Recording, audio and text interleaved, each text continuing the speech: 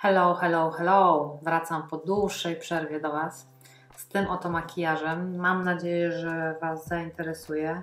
Mam nadzieję, że będzie Wam się podobać. Zapraszam na film. E, oczywiście nie zapomnijcie zostawić łapkę w górę. Jeżeli jeszcze mnie nie subskrybujecie, to zapraszam do subskrypcji. E, no i co? I tyle. Zapraszam. Zapraszam do oglądania. Co dzisiaj będziemy robić? Dzisiaj pobawimy się e, w makijaż. No wiem, wiem. Dziwnie to brzmi na kanale makijażowym, ale muszę Wam powiedzieć, że nie malowałam się przez długi czas. Albo malowałam, malowałam się, ale malowałam się tak naprawdę basicowo. I jakoś tak nie miałam w ogóle nastroju na jakieś wielkie makijaże. I na walentynki mój kochany kupił mi prezent. Poszedł do Sephory i sam wybrał mi kosmetyki i powiedział, że mam je wypróbować, mam się pomalować na walentynki i mam nakręcić o tym film, bo on wie, że po prostu chce to robić, ale jakoś tak ciężko było mnie pchnąć. No i co on mi kupił? Powiem Wam, że zaskoczył mnie bardzo, bo kupił mi paletę do konturowania. Nie wiem, czy pani jakaś mu tam doradzała, ale muszę przyznać, że bardzo się cieszę z tego powodu, że to mam. Paletę do konturowania e, ze Smashboxu Kali Contour. Kupił mi najnowszą paletę Nataszy Denony, zresztą na walentynki, idealna Valentine's Exclusive Mini Crush Eyeshadow Palette i to jest razem z pędzelkiem. I kupił mi pomadkę w kremie z Chanel, w ogóle zaszalał, w szoku jestem, w kolorze 218. Yy, więc no właśnie. Dlatego dzisiaj będę się tym malować. Nie ukrywam też, że już od tamtej pory walentynek już ją używałam, te kosmetyki używałam i mam swoją opinię, więc po prostu łatwiej będzie mi to ocenić. Yy, I dla Was może to będzie bardziej przydatne, bo akurat jeżeli chodzi na przykład o tą paletę ze Smashboxu, to teraz w Sephorze była na nią promocja, więc no, może warto się będzie na nią skusić. Zobaczymy po tym filmie, co powiecie. E, nie zrobię jakiegoś wielkiego makijażu, bo siedzę w domu znowu, nie chce mi się. Mm, a może zrobię. No zobaczymy. E, zobaczymy, jaki mi makijaż wyjdzie po prostu sam z siebie. E, pokażę Wam, jakie są kolory. Przede wszystkim pokażę Wam, jaki piękny pędzelek jest w zestawie. Jest to druga paleta od Nataszy, która ma w sobie pędzelek. Tylko teraz pytanie, czy ja znajdę ten pierwszy pędzelek e, z tego, tej pierwszej palety. To nie, może nie być łatwe, bo on był króciutki tak samo. Zobaczcie, o, w pierwszej tej palecie, którą też już pokazywałam na kanale, był taki pędzelek. W tej chwili jest, no, można przyjąć, że jest no można przyjąć, że jest taki sam, no troszeczkę może bardziej taki szerszy e, przekroju, ale to jest e, kształt pędzla bardzo, bardzo przydatny do makijażu, przynajmniej ja bardzo lubię się nim malować i te pędzle są naprawdę fajnej jakości, więc e, jeżeli ktoś potrzebuje jednego pędzla na podróż, który zajmuje bardzo mało miejsca, bo one są malutkie, to naprawdę kupując tą paletę już będziecie go mieć. A sama paleta wygląda w ten sposób. Mamy tutaj pięć, pięć, pięć cieni, mm, w tym trzy matowe, w tej takiej formulacji, formule e, Nataszy Denony e, Cream Matte, czyli taki kremowy mat i dwa błyszczące. Jeden to jest taki typowy, metaliczny cień, a drugi to jest taki bardziej błyszczący, może nie turbo pigment, ale bardzo ładny taki e, no bardzo ładne. I teraz tak, wszystkie te kolory, może się wydaje, na przykład te dwa, że one są ciepłe, ale one mają też sobie róż. Więc e, naprawdę wszystkie te kolory są do siebie dopasowane. Bardzo. Aż spróbuję Wam pokazać swatch, ale wiecie, ja mistrzyni swatcha, więc nie wiem co mi wyjdzie. Zobaczymy chyba tak. To jest ten najjaśniejszy mat. Nie wiem w ogóle, czy go będzie widać, bo on jest bardzo, bardzo delikatny. Bardzo delikatny, ale pięknie buduje załamanie powieki. To jest ten cień. Drugi cień to jest taki, naj, wydaje się, że najciemniejszy z palety, ale on, no właśnie, to jest, to jest ten cień. Zaraz Wam powiem, e, może To jest ten taki powiedzmy wróż padający, ale troszeczkę cieplejszy. I to są trzy maty. I do tego mamy jeszcze błysk, ten róż. Bardzo mięciutki, taki ciepły się wydaje pod palcem wręcz. Zobaczcie, ten na górze bardzo ładny i na samym końcu i muszę wziąć chusteczkę, bo już mi palców brakuje. I na samym końcu mamy ten metalik, który jest tak napigmentowany, że jednym pociągnięciem możemy sobie zrobić całe oko, albo nawet drugie oko. Zobaczcie, ile mi jeszcze zostało na palcu. Czyli tak, mm, te dwa skrajne to są błyszczące, te w środku są matowe. I powiem Wam, że ogólnie, ogólnie ta paleta mi się bardzo podoba, jeżeli chodzi o kolorystykę. Pięknie wychodzą e, te makijaże nią zrobiono, zrobione. One się tak fajnie składają w całość, więc jeżeli ktoś lubi takie odcienie, sorry za moje włosy, jeszcze ich nie, nie zrobiłam. Jeżeli ktoś lubi takie odcienie, lubi róże, e, to to jest idealna paleta. Ona chyba kosztowała około 120 zł, z tego co pamiętam. Natomiast jedyną uwagę, ja powiem Wam już teraz, bo potem przy tym malowaniu to po prostu chyba zrobię na przyspieszonym, albo się pomaluję do Was wrócę. Jedyna jaką mam uwagę do tych cieni to taką, że te maty kremowe to nie jest formuła, którą ja lubię. To jest już formuła, która wcześniej była w jej paletach, na przykład w tej palecie, której w końcu nie zrobiłam e, recenzji na kanale, czyli w palecie retro. E, ja nie lubię tych cieni. To znaczy tak, trzeba się nimi nauczyć pracować. One są bardzo, one mają dużo silikonu w sobie, one są bardzo śliskie, takie wydawałoby się, że są mokre, ale jednocześnie mam wrażenie, że słabo e, schodzą z pędzla, że trzeba się mocno machać, żeby jakby zbudować tą siłę, co nie jest też do końca złe, bo one się przepięknie rozcierają. Ale ja chyba wolę te, te formuły od Nataszy, takie klasyczne, takie bardziej no, inne. nie wiem. Mówię, nie jest to nic złego, natomiast no, trzeba się tego nauczyć. Ten cień się wydaje bardzo ciemny, a on naprawdę się dosyć słabo buduje. Natomiast ten się wydaje jaśniejszy, a jest ciemny. Wszystkie te cienie mają bardzo mocno różowy podton więc y, do siebie pasują idealnie. Ten jest zachwycający i ten można użyć na całą powiekę jako jeden cień i będzie wyglądał bosko. Aż mi kusi, żeby go użyć. Ten też nie jest zły. Y, nie ma to takiej mocy, wiecie, turbopigmentu, ale ja akurat, jak wiecie, ja nie lubię, bo to jest bardzo eleganckie, to mi się bardziej podoba. No dobra, to zaczynamy malowanie. Jako bazę użyję sobie może inglota, ale nałożę sobie najpierw, spróbuję taką technikę łączoną, czyli najpierw korektor i na to nałożę bazę. Bo ten korektor ma taki ładny, biały kolor i może po prostu fajnie będą się te kolory na nim e, wybijały, chociaż tak jak Wam powiedziałam, e, te kolory naprawdę są piękne. Piękne, takie twarzowe.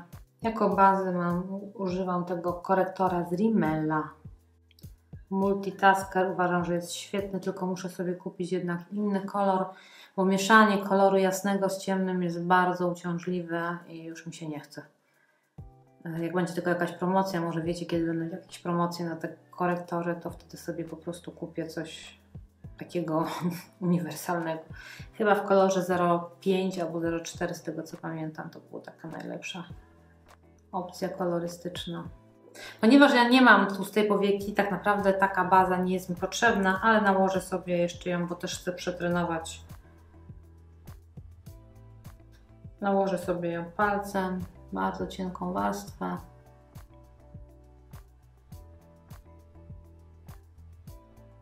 A może tą drugą zostawię sobie bez, bez tej bazy. Zobaczymy, czy będzie jakaś różnica w nakładaniu. I jako kolor przejściowego użyję tego przepięknego beżu podbitego e, różem i użyję do tego pędzelka, a może tego z tego zostało. To jest ten pędzelek z tego zestawu. Idealnie nadaje się na właśnie budowanie załamania. Zobaczcie, jak pięknie od razu widać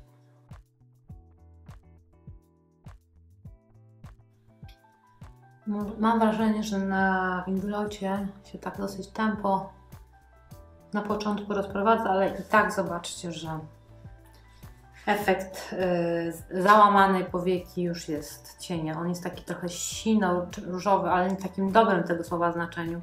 Nie jest za zimny, bardziej neutralny w kolorze bym powiedziała, więc idealnie się do tego właśnie nadaje, do tego miejsca.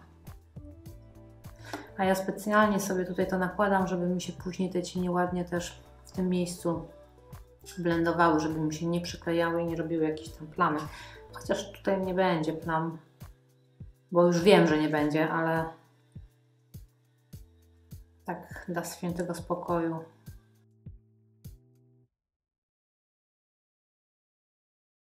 Pędzelek jest świetny, naprawdę. Akurat w wypadku tej palety uważam, że ten pędzelek miał sens. Myślę, że mogłabym się nim pomalować cały makijaż. No w sumie, może spróbujmy. Tym samym pędzlem będę wykorzystywała w tym w takim razie czyścić z Glam Shopu do wyczyszczania. Chociaż po tym jasnym to nie ma czego czyścić. Dobra, no jako następny, żeby przyciemnić zewnętrzny kącik, Normalnie to bym wzięła ten ciemny, ale zobaczycie, że on wcale tak ciemno na powiece nie wygląda. Nakładam go sobie na ten pędzelek i strzepuję. I zobaczcie, że on, on się przykleja, nie mówię, że nie, ale mam wrażenie, że no, nie jest to taka moc, jak ja bym oczekiwała, bo w palecie wydaje się bardzo ciemna, a na, na powiece praktycznie nie ma tego cienia. Jeszcze tym pędzlem to już w ogóle nie jestem w stanie tak mocno go tutaj nałożyć. Wydaje mi się, że na samym korektorze ładnie pracują te cienie. Równo tak, tutaj się bardziej plamiście przykleiło.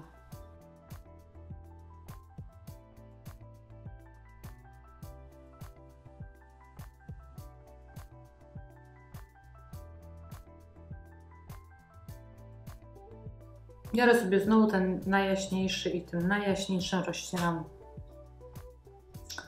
tutaj te moje granice które niestety się robią, kiedy ma się tak pomarszczoną powiekę i taki nadmiar skóry.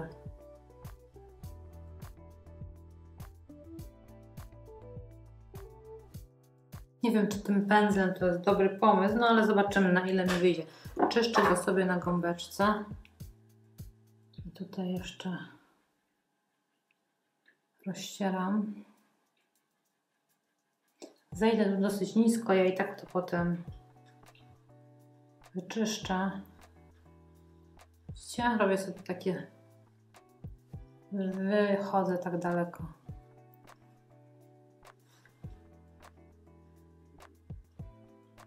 Nie wiem jak u Was, ale u nas jest Armagedon, jeżeli chodzi o wiatr. Po prostu tak wieje. Ja uwielbiam jak wieje, uwielbiam. Wiatr to daje mi taką dobrą energię. Dla mnie jest wiatr bardzo podniecający wręcz tak, no, można powiedzieć nawet seksualnie jakoś tak mnie um, pobudza, nie wiem jak to nazwać, ale bardzo lubię wiatr. Ale to, co się dzieje w tej chwili, to jest szok. Wiem, że jest niebezpiecznie i to mnie akurat smuci, że może ktoś mieć problem przez to. Dobra, biorę sobie ten następny kolor. Zobaczycie, że on wydaje się w palecie, że jest jaśniejszy, ale on się też ładnie wchodzi na pędzel, ale on się ładnie przykleja. O, zobaczcie, jest dużo taki, mam wrażenie, bardziej intensywny. Tak ładniej go, łatwiej go zbudować. On się po prostu fajnie przykleja. O ile tamten poprzedni się tak dosyć śliska na powiece i trudno jest y, go tak przykleić, o tyle ten cień jest po prostu świetny. O, zobaczcie, bardzo ładnie.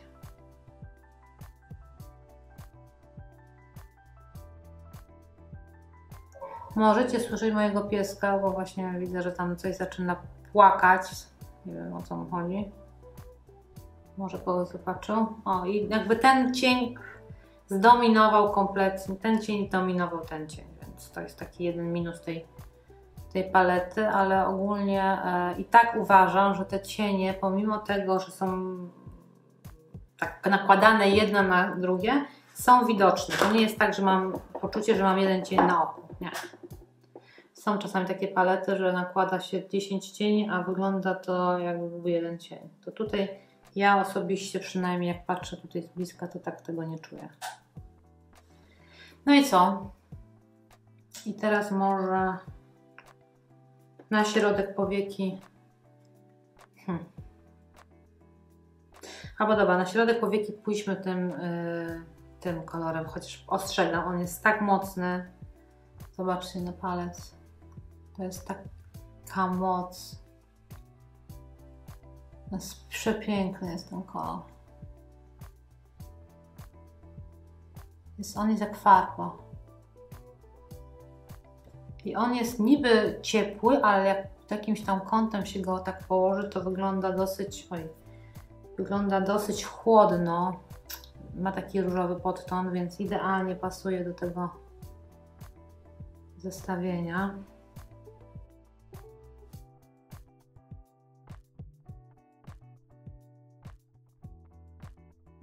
A na wewnętrzną część dam sobie ten róż, tylko teraz nie wiem, hmm, spróbuję palcem, no bo pędzla już nie chcę używać innego. Może tylko pędzlem tutaj sobie to ładnie rozetrę. Żeby nie było takiej granicy. Ale zobaczcie, na tym oku, gdzie była ta baza z inglota, mam wrażenie, że ten cień jest mocniejszy, bardziej się błyszczy. Biorę sobie mały palec i spróbuję tutaj wjechać. Jak widzicie, cały czas nie mam zrobionych paznokci. Taki challenge mój. Po prostu powiem Wam szczerze, że jest mi wygodnie bez tych pazurów. Mam cały czas krótkie paznokcie, mogę się spokojnie malować.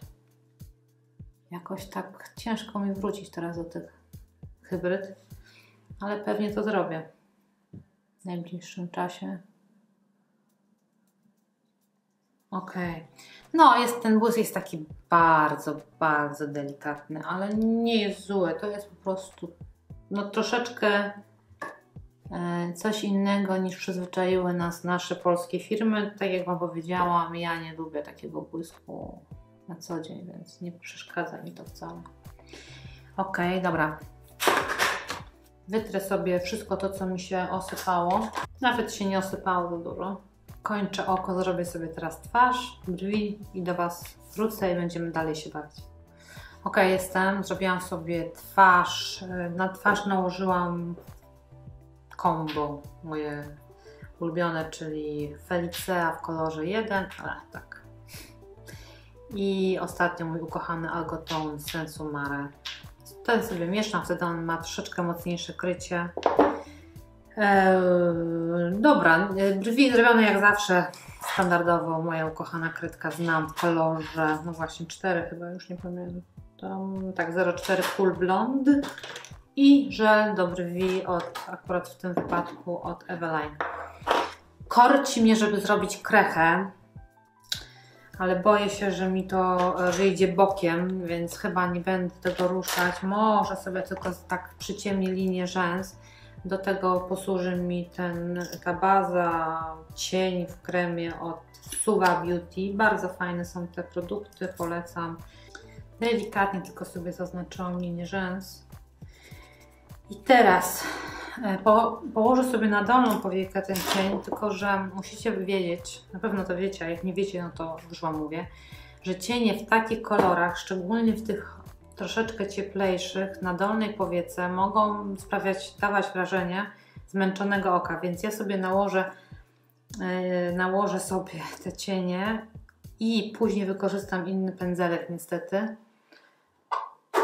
I wezmę sobie moją ostatnio męczoną yy, paletę z Toma Forda.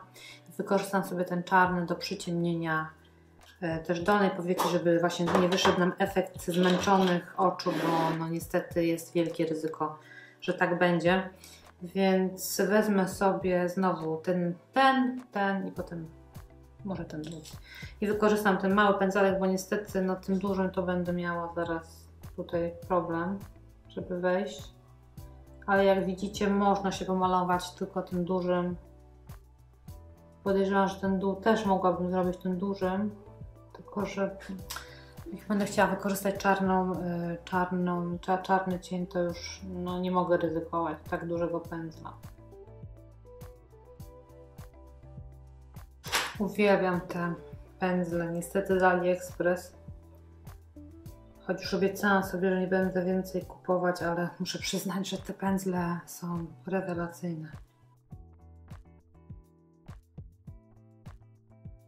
Zobaczcie, ten, jak to działa ten cień. Ten najciemniejszy cień, on jest tak mocno sprasowany i tak śliska się po tej skórze, że no zbudowanie nim e, jakiejś tam siły jest, znaczy mocy cienia jest trudne.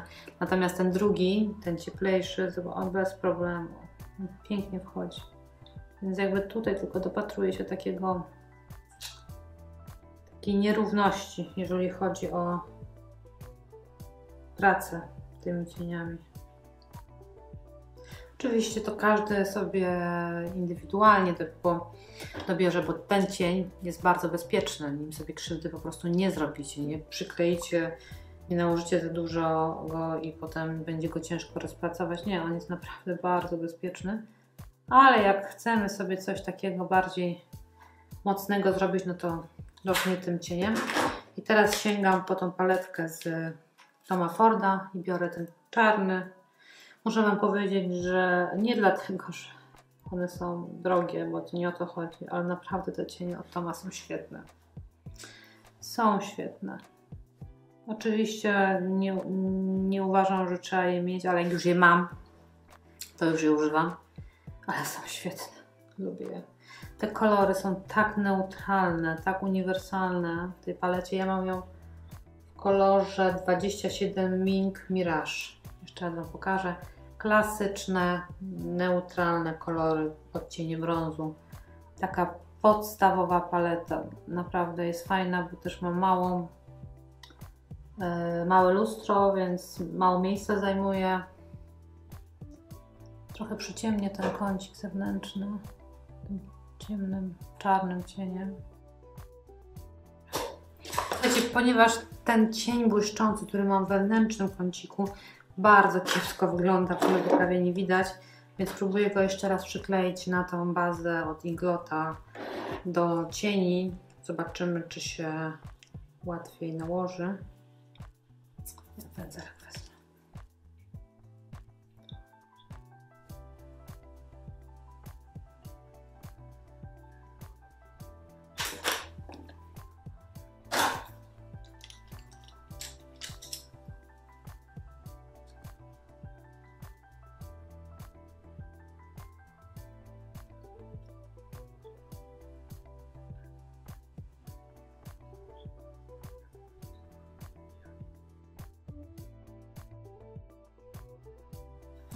trochę mocno, ale też bez szału. Mogę powiedzieć, że wstępnie o czym mam skończone, jeszcze oczywiście rzęsy przyjdą, ale to za moment. Mogę sobie teraz wrócić, dojść do tej palety od Smashboxa. I powiem Wam, że powiem Wam historię moją yy, z tą paletą. Zawsze jak oglądałam e, zmalowaną, to ona jak nie robi jakichś tam PR-owych e, albo e, współpracowych filmów, to właściwie zawsze korzystała z tej palety.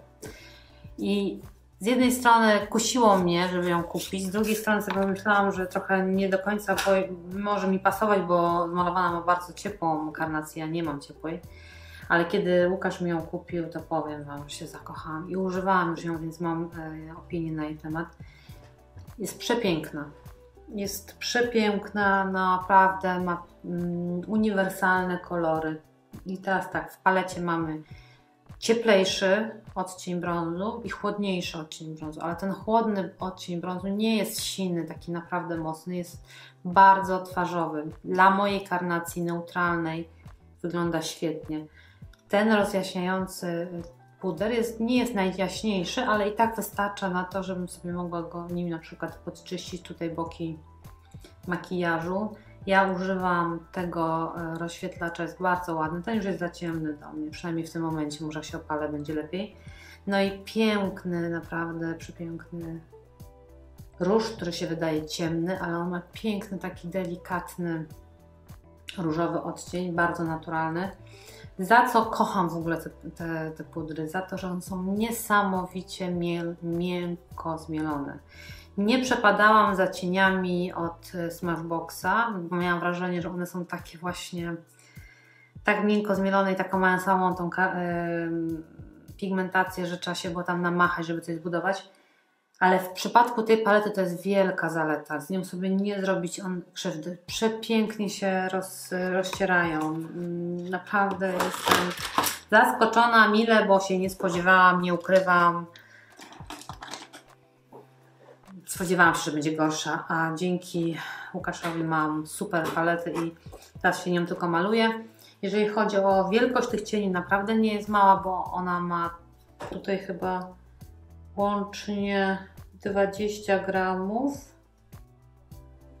A dla porównania Glam Shop ma, e, ma teraz, nie no troszkę więcej, bo to jest 32 gramy.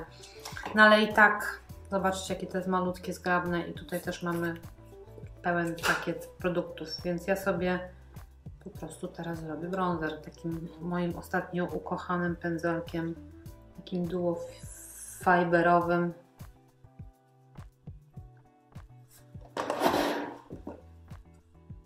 I w końcu nie mam takiego ciepłego polika, bo niestety te, ja bardzo lubię te ciepłe bronzery, ale czasami na, e, na filmie one wyglądały bardzo, bardzo żółto, chociaż na żywo wcale tak nie były, a, a ten w końcu jest taki, no zobaczcie, jaki ładny. Trzeba jest trochę mocniej niż zwykle, bo mam dosyć mocne oko. Teraz to rozblenduję. Nie umiem malować się do lusterek od palet. Przyzwyczajona jestem do tego lusterka stojącego i powiem Wam, że jakoś tak nie bardzo. Mieszam sobie teraz z tym cieplejszym. Trochę sobie wybrązuję mój dekolt. I dam nawet ten rozświetlacz taki ciemniejszy. To nie są takie rozświetlacze, wiecie, które widać z kosmosu, ale są bardzo eleganckie. Uważam, że są idealne do, do codziennego użytku. Dam sobie troszeczkę ten cieplejszy, żeby sobie teraz rozetrzeć ten kontur.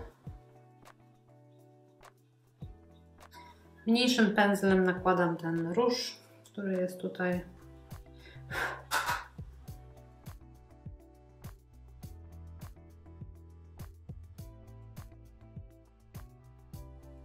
I jako rozświetlacz użyję tego jasnego. Wezmę sobie taką, nie wiem jak to nazwać, wachlarzykowaty pędzelek. On też jest troszeczkę dla mnie teraz za ciemny, bo ja mam teraz mocno jasną karnację, bo jestem blada i nie używam żadnych bronzerów, samoopalaczy, ale i tak wygląda ładnie. Troszeczkę tutaj sobie nałożę. Dobra, robię sobie rzęsy i zaraz do Was wracam.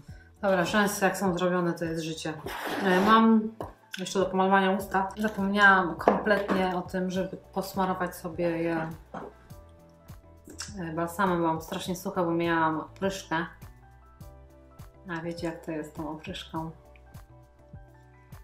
Bardzo lubię ten błyszczyk z Bell, tego zestawu cukierkowego, nie pamiętam jak on się nazywał, czy Candy jakoś tak.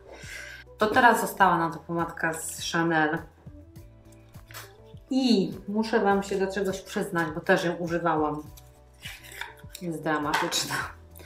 To jest najgorsza pomadka, jaką naprawdę chyba od dawna używałam. Oczywiście bardzo się cieszę, bo jest, no, dostałam ją w prezencie, ale jeżeli chodzi o jakość, bardzo Was ostrzegam. Nie znam tych pomadek, jeżeli chodzi o inne kolory, bo być może w kolorach takich nudowych ona będzie świetna. Natomiast ten kolor, e, ten kolor który ja mam, to jest, przypominam Wam, to jest kolor 218. on ma taką ładną szpatułkę. Jest taki, wydaje się fajny, taki malinowy, letni kolor. Jest tak słabo napigmentowany, jest tak... Ojejku. Wiecie, to jest droga pomadka, ona kosztuje chyba ze 180 zł, to jest w ogóle jakiś obłęd. Ale Naprawdę ostrzegam, nie kupujcie, szkoda pieniędzy. No chyba, że dostaniecie w prezencie, no to wtedy wiadomo. Ale ze swoich pieniędzy to jak najdalej. Spróbuję to nałożyć na usta. Po pierwsze, ma bardzo małe krycie. Zobaczcie. Nie wiem, czy to będzie widać. To jest pierwsza jakby warstwa. Dobra, to jeszcze nie chodzi o to, że ja kocham grube krycie. To nie chodzi o to, ale tutaj yy, przy pomadkach kolorowych, akurat w moim przypadku jest tak, że nie wyglądam dobrze, kiedy ta pomadka jest niekryjąca. Nie wiem, po prostu nie podobają mi się moje usta. Ja lubię, jak one są pokryte tym kolorem. I tak jak Wam powiedziałam, gdyby to była pomadka może yy, taka nudowa, to do codziennego noszenia byłaby świetna. Ale jeżeli chodzi o kolor, no to zobaczcie, on jest tak delikatny. Może ktoś, kto nie lubi wyrysowanych ust, będzie zadowolony z tej pomadki, ale ja lubię wyrysowane usta. Po pierwsze. Po drugie, e, ona nie jest matowa, ona nie zastyga, albo bardzo wolno zastyga. To jest plus, bo jest bardzo komfortowa. i ładnie się nawet zjada, ale zjada się bardzo szybko. Poza tym ona się błyszczy i wiecie, jak ktoś ma bardzo ładne, młode usta, to błyszczące pomadki nie wyglądają źle, ale w pewnym wieku to już nie jest takie fajne. No, nie będzie to moja ulubiona pomadka. No, bardzo jest podobna ta pomadka do pomadek z Bourjois, więc tych takich Róże Edition, czy jakoś tak się nazywały, taka lekko piankowa i kosztowa, kosztują, nie wiem czy jeszcze są sprzedażne, załóżmy nawet nie kosztują 40 zł, to i tak wybieram tamtą pomadkę, a nie pomadkę za 180. Dobra, kończymy. Z całego tego zestawienia nie muszę Wam mówić, że jestem zakochana w tej palecie i gorąco Wam ją polecam. Ona jest cały czas chyba jeszcze w Sephorze do kupienia na promocjach. Jeżeli nie macie palety do konturowania, jeżeli szukacie jednej palety, która Wam da e, możliwość zabierania się na wyjazdy, i tych cieni można używać jako cieni do powiek. Ma piękne, duże lusterko, jest fajna, świetna, kompaktowa, to Wam bardzo gorąco polecam, bo naprawdę warto wydać te pieniądze. Naprawdę, warto je wydać, bo jest świetna. Jeżeli chodzi o tą paletę, tę paletę, no to już jest kwestia gustu. Mi się te makijaże bardzo podobają. Ilekroć robię sobie nią e, makijaże, to mi się one podobają. Mam poczucie, że te oczy nie są... Aha, ja sobie jeszcze jedną rzecz zrobię, bo zapomniałam z tego wszystkiego. Ja sobie jeszcze podczyszczę e, tym cieniem, tym pudrem jasnym tutaj. Tak jak zawsze robię. Nam trochę tak zdefiniuję tutaj ten odcinek. Lepiej, nie lepiej, nie wiem, ale lubię to robić. Także no, tutaj mamy i fajne jest to, że mamy do tego naprawdę bardzo dobrej jakości pędzelek, także stawiam Wam do decyzji, jeżeli ktoś zbiera, no to must have, bo ja zbieram te małe i bardzo je lubię. No a to, to będzie mój bubel na pewno, jeżeli kiedykolwiek znowu zrobię jakiś film podsumowujący moje kosmetyki, to to będzie mój bubel, bo uważam, że za te pieniądze ona, widzicie, cały czas się błyszczy. Ona, się, ona w końcu się zasuszy, ale to bardzo długo trwa. I tak jak mówię, są bardzo komfortowe te pomadki, fajne w noszeniu, ale jeżeli miałabym się na nie decydować, to tylko w kolorze nudowym wtedy je wykorzystam, bo do kolorów takich ostrzejszych. Ja nie lubię tak słabo napigmentowanych produktów. Będę miała pamiątkę po walentynkach. Bardzo się cieszę. Cieszę się, że ja mam, bo lubię takie, wiecie, że ja zbieram czerwone pomadki. Ale to nie jest najlepsza opcja. Ok, dziękuję Wam bardzo za oglądanie. Trochę się odsunę.